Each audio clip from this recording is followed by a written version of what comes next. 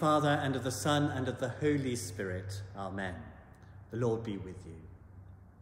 Good morning and welcome to you all. I'm Father Simon, the parish priest here in the parish of Minehead. We're part of the Diocese of Bath and Wells. Welcome to one of our churches, St Andrew's, in Wellington Square in Minehead, on this festival of the baptism of Christ.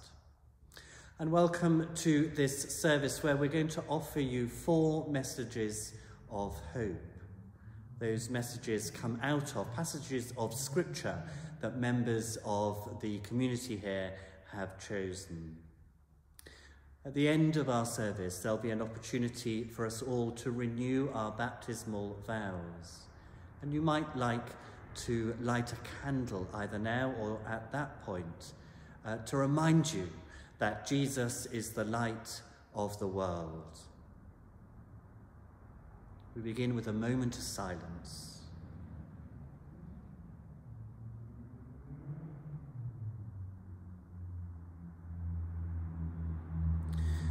Because God was merciful, he saved us through the water of rebirth and the renewing power of the Holy Spirit. But through sin we have fallen away from our baptism let us return joyfully to the Lord and renew our faith in his promises by confessing our sins in penitence. You raise the dead to life in the Spirit. Lord, have mercy. You bring pardon and peace to the broken in heart. Christ, have mercy. You make one by your Spirit the torn and the divided. Lord, have mercy.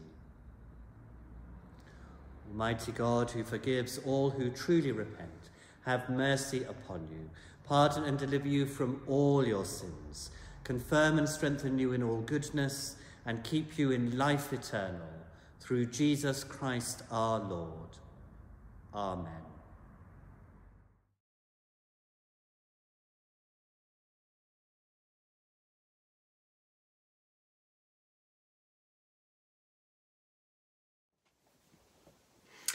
Hello everybody, many of you already know me, I'm Diane. I'm one of the church wardens here in the parish of Minehead. And today I have chosen some verses from Psalm 42. Um, this is as a result actually of a friend sending me some words of encouragement. She's a friend and a fellow Christian. And she reminded me on how much I love the hymn As the Deer Pants for the Water uh, by Martin Nystrom and I've been humming it for days now. You know what it's like when you get a song in your head. Well, that's that's what's happened to me. And so this short narrative, this small talk that I've done for you um, has been inspired by that. So I'm going to read verses 1 to 3 and verses 11 from Psalm 42 and I'm reading from the New Living Translation Bible. As the deer pants for streams of water, so I long for you, O God. I thirst for God, the living God. When can I come and stand before him? Day and night I have only tears for food, while my enemies continually taunt me, saying, Where is this God of yours? Why am I so discouraged? Why am I so sad? I will put my hope in God. I will praise him again, my Saviour and my God. How many times have we heard or said we are living through interesting times? The days of having to stay at home seem endless and as one month slides or rolls into another, we wonder when it will end, when we can get back to some normality. And this period just after Christmas sometimes feels like that too, where we can feel downhearted, discontented or experiencing feelings of emptiness or anticlimax. We are not alone in these feelings, as this psalm demonstrates. The first three verses speak of a person searching their soul for answers, where experiences or circumstances of life have tempted them to question things. Where life seems um, hard and dreary, we long for something to refresh us. It is easy to question God when things are not going our way, when times are difficult. We can trap ourselves into thinking that God is not really there or that God is not really working to make things better, and we start to question Him. At present, and periodically over a number of months, we've not been able to attend church, to join our family in worship, and that sense of community. Have you felt that loss at not being able to attend church to see your God? Or have you experienced a need in your heart just to get back to some normality? I know that at times I have. But we must remember that God is all around us. He is beside us wherever we are, and He has a plan.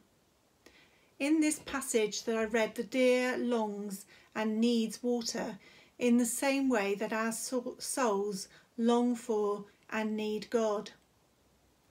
Our souls may feel dry at the moment and we may be fearful or unable to flee the pressures of life that seem to pursue us. But God is our fountain of life and He is the satisfaction for our weary soul. He is the God of comfort. God is faithful and God is love. Therefore, there is room and reason for hope. God alone is the only one who can satisfy our thirsty soul, and He alone can protect our hearts and minds. So let's not doubt, not let doubt or trouble pull us too far away from God. God can see us through anything if we trust in Him, if we obey Him, and if we pray to Him. He will lift us up when we are feeling down. So let's put our hope in the Lord. He alone is our strength and shield. And let's start to be thankful for what uh, we have around us and what we have in our lives and what we can plan later on this year. John, uh, Thomas Jefferson said, I like the dreams of the future better than the history of the past. So let's keep that hope going and look to the future. Amen.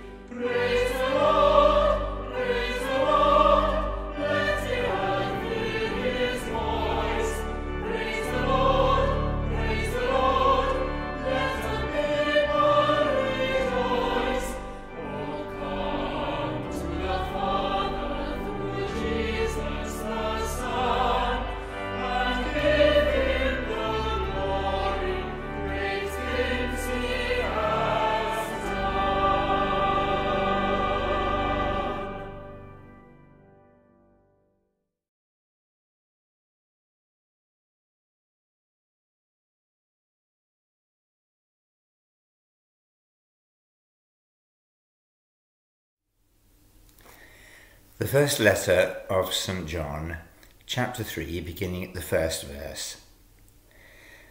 See what love the Father has given us, that we should be called children of God.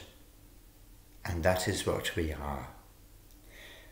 The reason the world does not know us is that it did not know Him. Beloved, we are God's children now what we will be has not yet been revealed.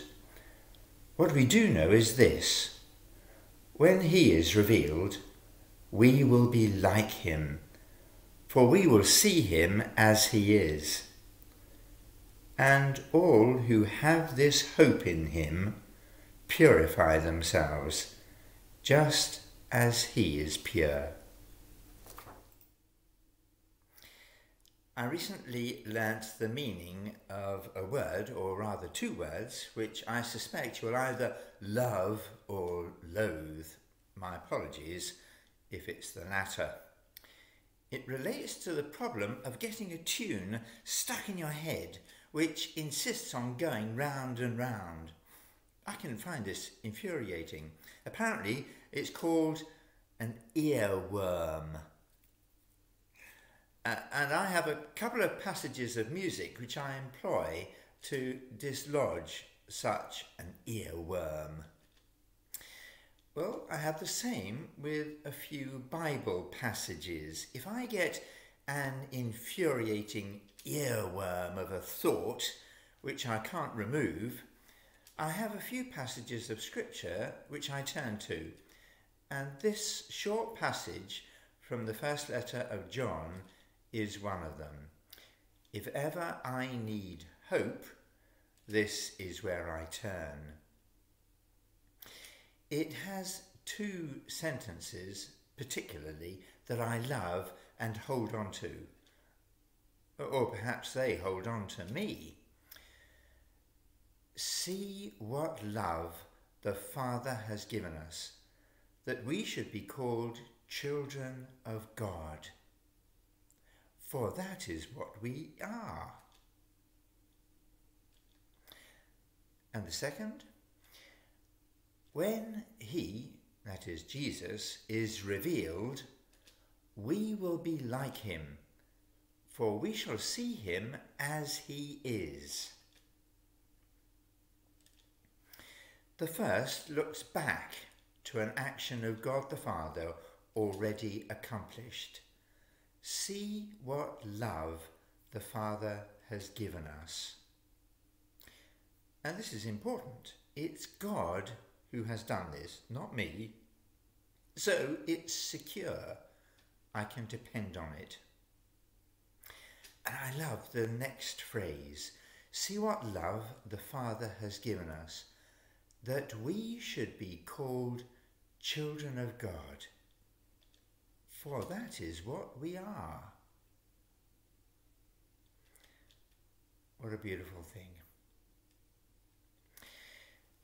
The second cause for hope lies in the future.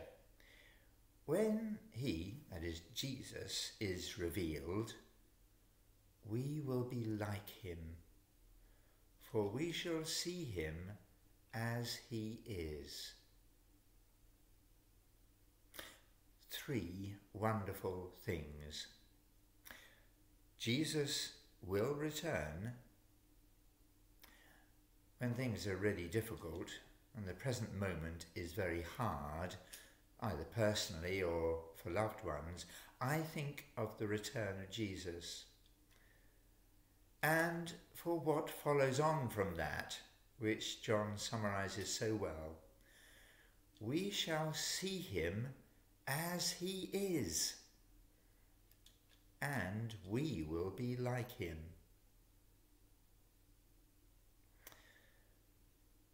It's a wonderful thing. And it saves me from thinking about myself because we will be like him.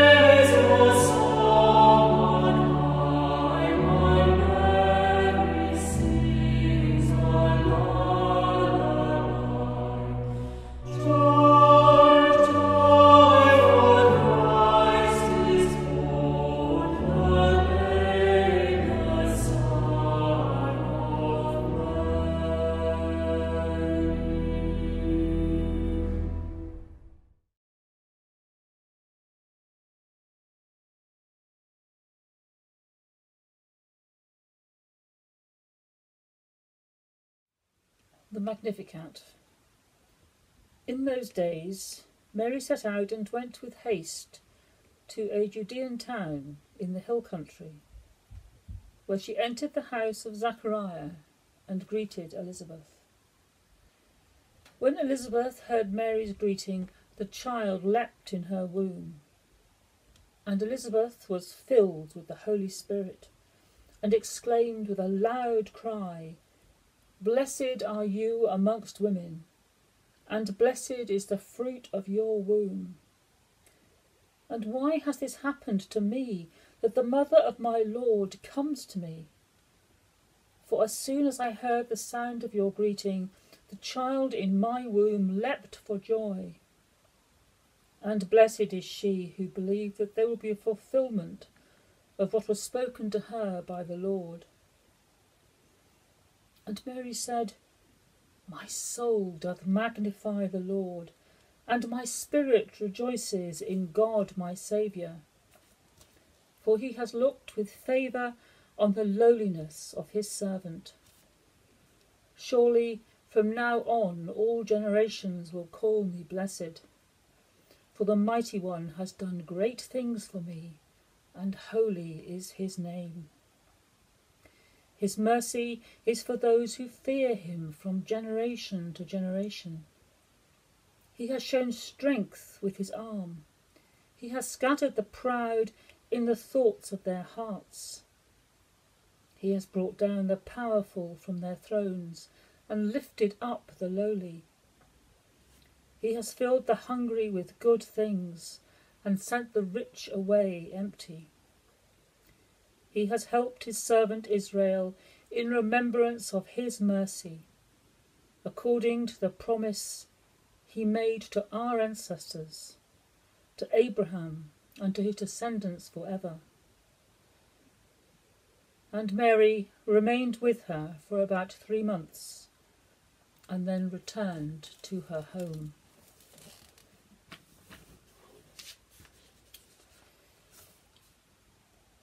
The story of Mary and Elizabeth meeting together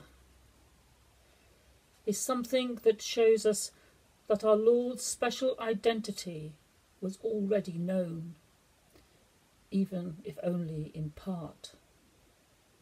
He isn't even born yet, he is only recently conceived, but he is alive in his mother's womb. Mary is blessed because of the fruit of her womb, and that fruit is the Lord. The Magnificat, the Song of Mary, is a response to Elizabeth's words. And after hearing what Elizabeth has said about her and her child, Mary responds in verse My soul doth magnify the Lord and my spirit hath rejoiced in God my Saviour. For he has regarded the lowly state of his man of his maidservant. For behold, all generations will call me blessed. Mary states that this is a fulfilment of God's promises. So, what can the Magnificat tell us today?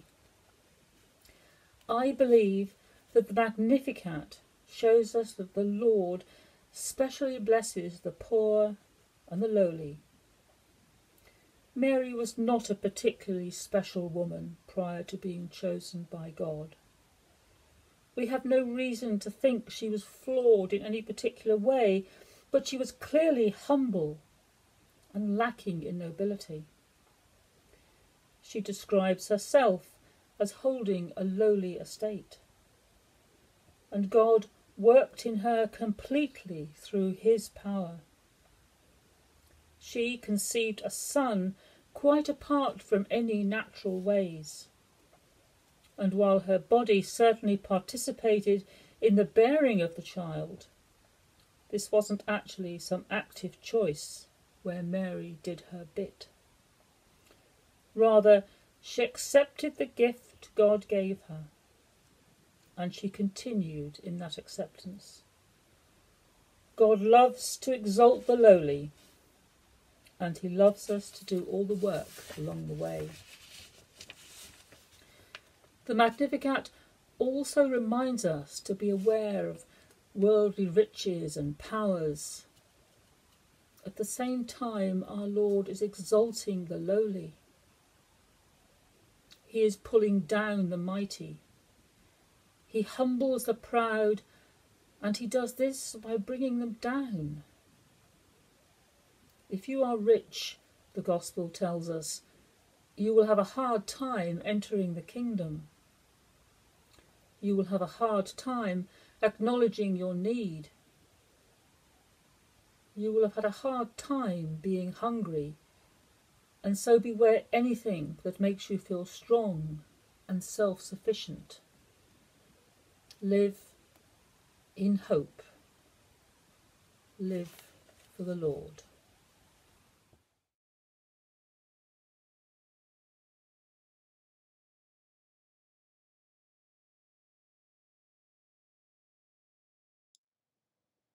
Many years ago, I was asked what my desert island piece of scripture would be.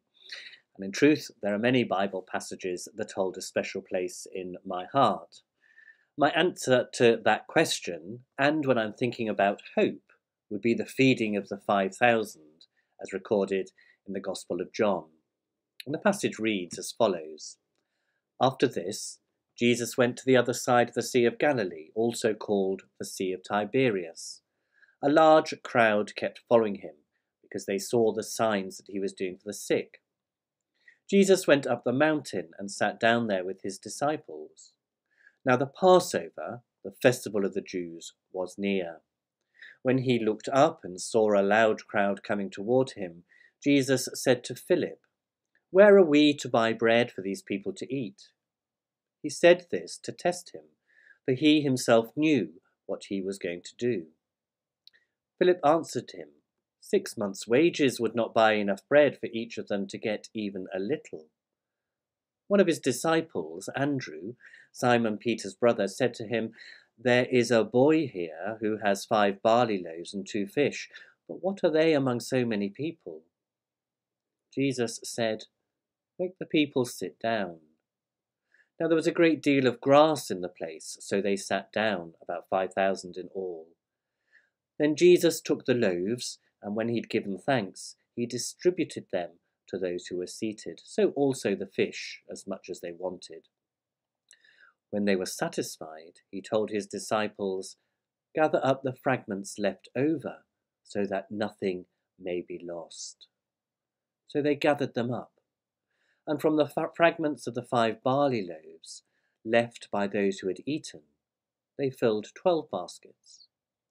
When the people saw the sign that he had done, they began to say, This is indeed the prophet who is to come into the world. Thanks be to God. Now, I don't think that hope is something we can just choose to feel, rather, that it grows within us over many days and weeks and years of our lives and bubbles away, affected by the different human and the different godly experiences that we all have. So, where in this passage do I find hope? Hope of a future that is different to the present. I find hope in the sheer curiosity and persistence of the crowd following Jesus. They knew that Jesus was special. I find hope in the sense of control and authority that Jesus has in the face of the doubt of Philip. I find hope in Andrew's understanding that even though the boy had only five barley loaves and two fish, that Jesus might just be able to do something with this very modest amount of food. And I find the greatest hope of all in the extraordinary words of Jesus when he told his disciples, Gather up the fragments left over, so that nothing may be lost. Of course, these words are partly about the barley loaves and the fish, but I also think that they're about the whole of humanity, and that Jesus came that nothing and no one may be lost. For me, in this single sentence, is the truth of the gospel of good news, the truth of the whole story of the life of Jesus, and the truth of the love of God. Whilst I exercise a little moment of linguistic license by changing the word nothing to no one, in the light of the greatest story ever, the story of God, and how God reached down in love to save us, I think that linguistic license is actually justified. In a way, every one of us is a little fragment of humanity, whom Jesus came, that none of us may be lost, whom Jesus came to save. This is the hope that I cling to day in, day out, when filled with joy or when filled with sadness, when filled with confidence or when filled with doubt. Gather up the fragments left over so that nothing, so that no one may be lost. Amen. So, friends, we come to the liturgy of the renewal of our baptismal promises. We all wander far from God and lose our way. Jesus Christ comes to find us and welcomes us all home. In baptism, we respond to his call. God calls us out of darkness into his marvellous light, and to follow Jesus Christ means dying to sin and rising to new life with him. Therefore, I ask you, do you reject the devil and all rebellion against God? Do you renounce the deceit and the corruption of evil? Do you repent of the sins that separate us from God and from neighbour? Do you turn to Jesus as Saviour? Do you submit to Jesus as Lord? Do you come to Jesus, the way, the truth, and the life? Do you believe and trust in God the Father, source of all being and life, the one for whom we exist? Do you believe and trust in God the Son, who took our human nature, died for us, and rose again? Do you believe and trust in God the Holy Spirit, who gives life to the people of God and makes Christ known in the world? This is the faith of the church. This is our faith. We believe and trust in one God, Father, Son, and Holy Spirit.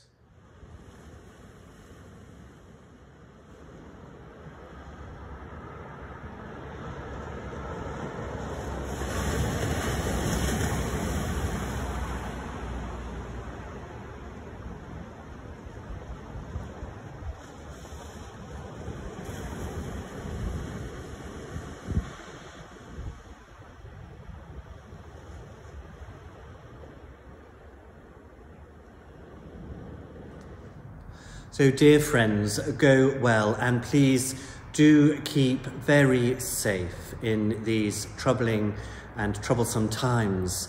And please hold the NHS and all of those key workers in your daily prayers. May God protect you and may God protect them all. May God who in Christ gives us a spring of water welling up to eternal life, perfect in you the image of his glory, and the blessing of God Almighty, the Father, the Son, and the Holy Spirit, rest upon you and those that you love and pray and care for, this day and always. Amen.